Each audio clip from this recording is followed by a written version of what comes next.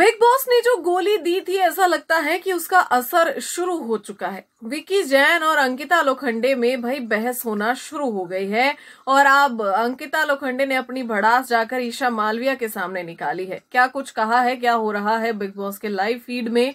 चलिए बात करते हैं। स्वागत है आप सभी का बॉलीवुड स्पाई में मैं हूँ अदिति शर्मा तो मैंने कल ही कहा था कि कपल्स को तोड़ना बिग बॉस का फेवरेट काम है और वो काम, वो राजनीति बिग बॉस ने खेलना शुरू कर दिया है। उसका असर विक्की जैन और अंकिता लोखंडे पर साफ़ साफ़ नज़र आ रहा है।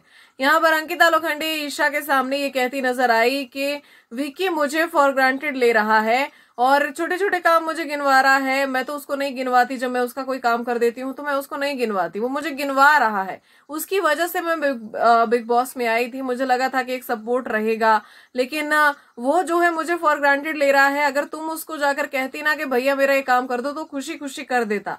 लेकिन मेरे लिए ऐसा नहीं है, मेरे लिए उसका मुँह बन जाता है, मुझे गिनवाता रहता है।